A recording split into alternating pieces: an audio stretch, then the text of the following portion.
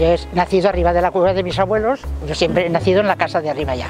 La cueva es bajo, pero hicieron la casa para mis padres arriba de la cueva. Está la tienda ahí, 75 años abierta al público. 75 años hará que la abrieron en julio, que la abrió mi madre.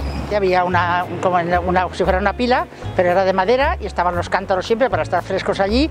Y eso, por ejemplo, la canterera me lo hubiera llevado de cabeza y el botijo que en mi casa aún se gasta.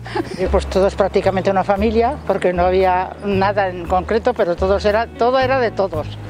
Tanto los niños, y por ejemplo, porque se queda a comer en mi casa, pues que vamos a cenar bocadillo y a la calle, si era verano, jugar y, el ambiente de familia. Desde los niños lo que estamos hablando, poder jugar en la tierra, las broncas que nos daban los abuelos, porque rascábamos las paredes y enseguida estaban con el pincel y la cal para que no tuvieran una manchita.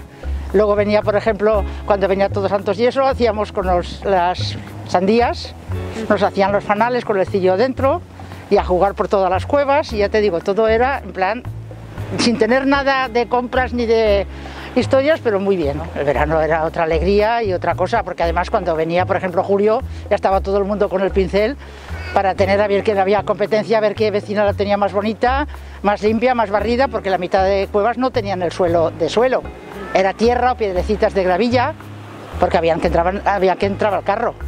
Y entonces, pues luego, incluso yo me acuerdo de, vecinas, en mi casa no, pero de vecinas que con un bote hacían agujeritos y ponían agua y hacían dibujos en, en la tierra, en el suelo y todo, que era muy bonito para como si dijéramos tengo la casa arreglada.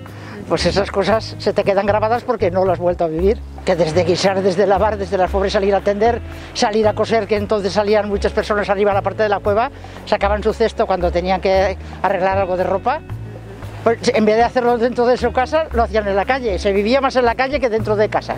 Muchas veces nostalgia de ver lo que hay. En el aspecto familiar sí que se ha notado mucho cariño, no quedan vecinos. La gente joven puede que a lo mejor el que te diré yo, el que, el que ha tenido un abuelos que han estado en una cueva, pues a lo mejor se le queda el recuerdo ese de siempre. Pero yo, por ejemplo, veo mis nietos, mis nietos no saben prácticamente lo que es vivir en una cueva. Y ahora ha cambiado mucho porque a nivel de, de, la tranquilidad de vivienda, la comodidad de vivienda, pues entonces era salir al baño, por ejemplo, al corral. Ya todo el mundo tiene su cuarto de baño, su agua caliente, su agua fría, ¿me entiendes? No es lo mismo. Y, que sea, no estás siempre con el pincel y la caña porque todo está hecho de otra forma. Las cuevas tenían una temperatura de maravilla, porque en invierno eran abrigaditas porque estaban bajo, pero en verano también eran frescas. O sea que eh, hay cosas que no se pueden repetir y hay cosas que hemos mejorado mucho por descontado. El recuerdo de las cuevas ha sido precioso siempre para los que hemos vivido